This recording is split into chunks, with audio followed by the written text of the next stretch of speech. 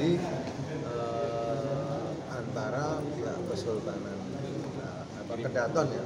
Kedaton. Kedaton ya dengan pihak PT tapi dari pemerintah tadi mengatakan bahwa itu tanah negara.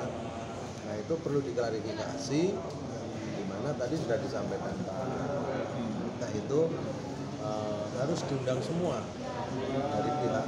Ini kebetulan hari ini pihak perusahaan belum hadir. Maka tadi usulan dari Bapak Gubernur yang kemudian diakomodir oleh Komite Duas sesuai dengan tugas pokok fungsinya kita akan mengundang uh, semua termasuk pihak investor pemerintah kemudian uh, SKPD terkait di Jakarta kan bahwa ada tumpang tindih kepemilikan tanah ya. ya Ya, jadi ini advokasi namanya.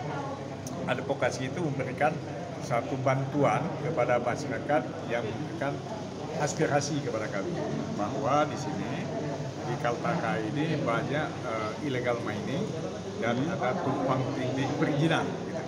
Nah, oleh karena itu ini kan mengganggu investasi. Nah, karena mengganggu investasi ini jelas mengganggu negara.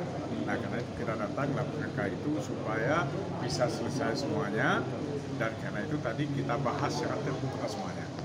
Salah satu illegal mining itu ada pertambangan yang liar disebut di sana pertambangan liar. Yang kedua ada beberapa PT yang dicurigai juga perizinannya belum lengkap tapi sudah operasi ya. PT-PT itu ada beberapa nama tadi kan. Nah, tapi oleh Pemda provinsi dan Pemda kabupaten disetujui bahwa itu harus diselesaikan. Nah, untuk penyelesaian itu harus dipanggil semua pihak. Nah, tadi ti- tidak lengkap. Nah, jadi kita sepakatin untuk ke depan bikin pertemuan sekali lagi dan pertemuan itu kita sepakat tadi kita lakukan di DPD dengan mengundang semua stakeholder di daerah. Apakah gubernur, apakah bupati, apakah sekda, apakah kepala dinas dan kita bicarakan terhadap semua persoalan yang kita anggap ada tumpang tindih, ada eh, ilegal dan segalanya. Mungkin Pak